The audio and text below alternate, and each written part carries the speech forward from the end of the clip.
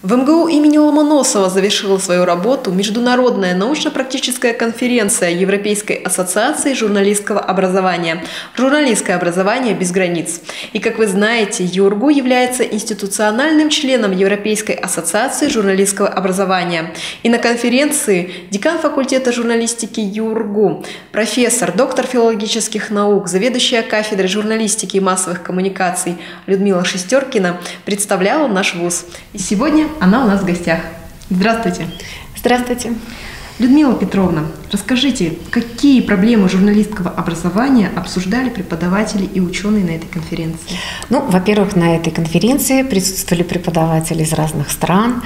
Это из Америки, из Болгарии, из Германии, Финляндии, Австрии, а, Франции. И все мы были озабочены тем, что журналистика приобретает новые черты, э, соответственно, должно меняться журналистское образование, поэтому по большому счету мы обсуждали новые границы журналистики профессиональной или чему и как учить журналистов, студентов. Но, если я не ошибаюсь, именно так звучит тема вашего доклада. Да-да-да. Наш доклад Южноуральского государственного университета был одним из центральных докладов на этой конференции. И мы, конечно, а, предложили свое видение развития ситуации а, всем нашим единомышленникам, всем медиаспециалистам из разных стран. Какие медиа-явления влияют на журналистику и журналистское образование? Ну, конечно, вот именно об этом и шла речь, что профессиональная журналистика действительно меняет свои границы. Почему? Потому что существуют реальные медиапроцессы, которые меняют нашу профессию. Во-первых, мы попытались выяснить, а, как люди, работодатели, журналисты, а, скажем, преподаватели, студенты вообще понимают сегодня профессию журналиста. Одни ее понимают как призвание, другие как род деятельности, третий как хобби, четвертый еще как-то. Но слава богу, что вот это понимание журналистики как призвание, оно может быть романтически звучит, но оно присуще большему количеству респондентов, которые участвовали в нашем опросе и в нашем исследовании. И новые границы э, профессиональной журналистики связаны с тем, что появились такие процессы, как вирусный редактор, универсальная журналистика, контентный дизайн. И еще мы предложили 10 медиапроцессов очень современные, которые реально меняют нашу профессию. А что в связи с этим надо делать в журналистском образовании? Чему учить важно, а чему не обязательно? Чему э, можно вообще не учить? Надо же сосредоточиться в этом многообразии.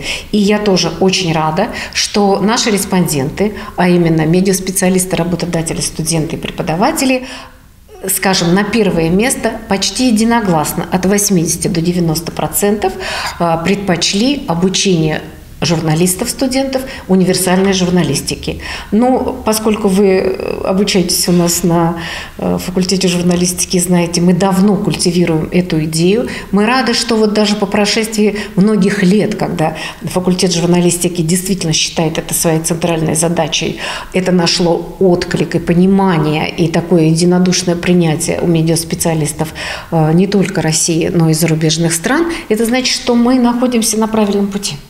А вы встречались с президентом Европейской ассоциации журналистского образования Ника Дроком? А как же? Это была тоже наша одна из главных встреч. Мы очень обрадовались этой встрече. Ника тоже обрадовался этой встрече. Мы обсуждали с ним очень важные вопросы и проблемы. А, наша а, кафедра, наш факультет и наш университет является одним из активных членов Ассоциации европейского журналистского образования. И о чем мы договорились? Во-первых, мы пригласили Ника снова к нам в марте на наш форум «Коммуникационный лидер». Он дал согласие. Будем рады, если ничто не помешает мешает нам встретить его снова и провести мастер-класс и обмен опытом. Ну и самое главное, обсуждались, обсуждались перспективные планы э, развития Европейской ассоциации журналистского образования. И они таковы. В Австрии следующая конференция пройдет в 2018 году, потом в 2019 году будет Франция, и 2020 год Южноуральский государственный университет станет научной площадкой для проведения следующей конференции, которая будет называться, журналист, которая будет называться «Журналистское образование без границ». И тогда все флаги в гости будут к нам. Будем готовиться к этому важному событию. Тогда удачи, удачи всем нам и успехов в проведении конференции. Спасибо, Ольга. А я напоминаю, что у нас в гостях была декан факультета журналистики ЮРГУ, профессор, доктор филологических наук, заведующая кафедрой журналистики и массовых коммуникаций Людмила Шестеркина.